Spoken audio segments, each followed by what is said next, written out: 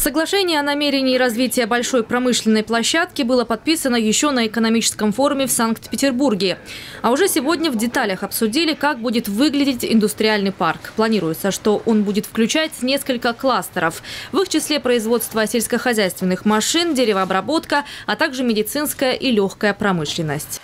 Инвестор, еще раз подчеркиваю, российский или зарубежный, должен понимать, что у него будут минимальные издержки и максимально быстрая прибыль. И очень важно, чтобы условия, которые мы сегодня создаем, они позволяли инвестору себя чувствовать уверенно в нашем регионе, они позволяли ему вкладывать серьезные деньги, Э, в бизнес, а еще больше нас интересуют новые технологии, которые придут вместе э, с инвестиционными вложениями, потому что мы тоже сегодня должны понимать, что это имеет приоритетное значение для того, чтобы мы завтра ощущали, как я уже не раз сказал, себя уверенно, наша экономика. Поэтому в совокупности э, позволяет вот искать партнеров, в том числе и вас, для того, чтобы мы смогли создать сегодня условия для успешного развития. Мы видим огромное огромно перспектив на экспорт из России.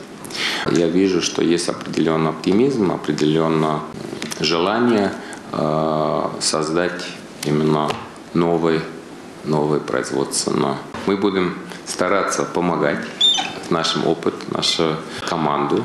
И я был очень рад, если э, вы нам давали все необходимую поддержку, также глава региона добавила, что сегодня фактически каждый четвертый рубль в регионе вкладывается в обрабатывающие производства. А развитие в Краснодарском крае индустриальных парков создаст новую точку роста в сфере промышленности.